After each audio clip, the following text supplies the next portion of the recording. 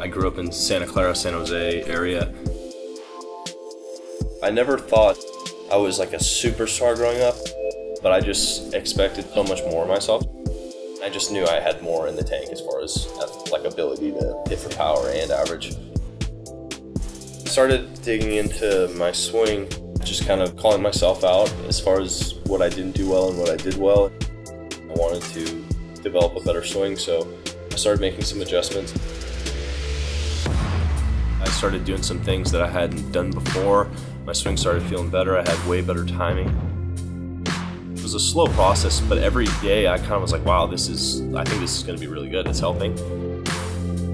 In the off season, I was hitting some balls, you know, right center and in right field and spraying the ball everywhere and just feeling like I can cover every pitch in the zone. I took it to another level and actually really said, okay, I'm going to start doing this stuff in games.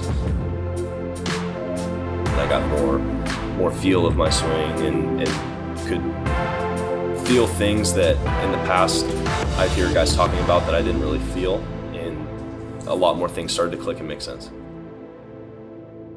I am Mitch Haniger, and I'm new to the blue.